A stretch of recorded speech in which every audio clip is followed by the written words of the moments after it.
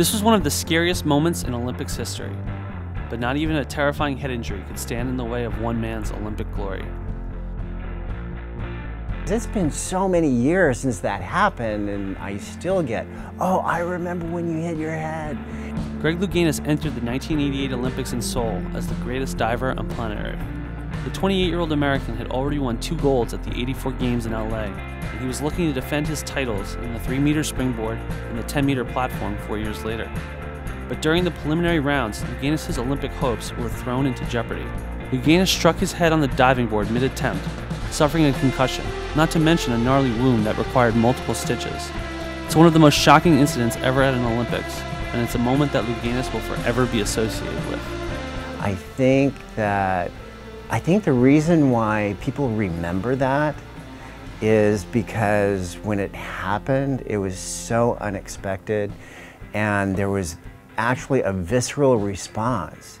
It was like, oh my God, you know, and, it, and it's almost like it burned that image in their in their brains, and that's I think the reason why everybody remembers that. While Louganis' injury was justifiably scary, he refused to let it define his performance at those games. On his very next qualifying dive, Louganis earned a high score to advance to the finals. And once there, he was his usual dominant self, clinching a second straight gold medal in the 3 meter springboard by a total of 25 points over his nearest competitor. He also successfully defended his gold in the 10 meter platform. For an amazing comeback in the face of a head injury, ABC's Wide World of Sports named him Athlete of the Year. And of course, what everybody remembers is me hitting my head at the 88 Olympic Games in Seoul, Korea. Fortunately, it was prelims. So I hit my head in the prelims on my ninth dive. I had two more dives after that. And so I had to come back and um, and I was I made the finals, and then the next day, competing in finals, I just kept getting stronger and stronger, and I ended up winning. Years later, conversations around Louganis' head injury took on a second life after he publicly came out at the 1994 Gay Games and published an autobiography announcing to the world that he was HIV positive.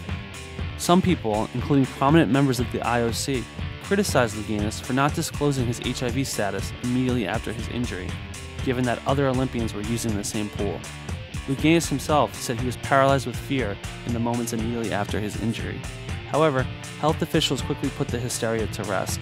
They said Louganis' blood would have been diluted by thousands of gallons of chlorine water and thus posed no risk to fellow divers.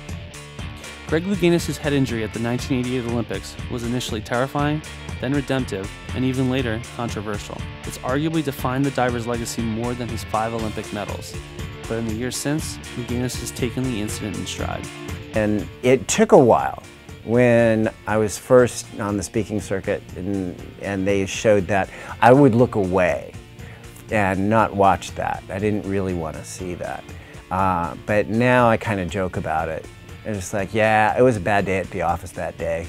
I mean, there, there are those moments in sports where you, you know, they're just so you know, amazingly unexpected uh, that, you know, it, it, it's an image.